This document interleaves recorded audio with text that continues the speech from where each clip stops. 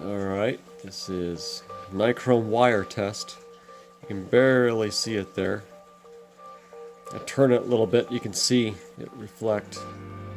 Oh yeah, look at that. It's really thin, thin like a hair. And I'm going to short it out against this battery.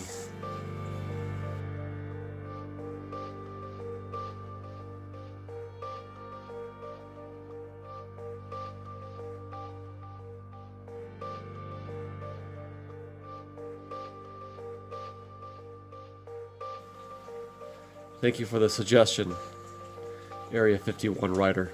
Good job.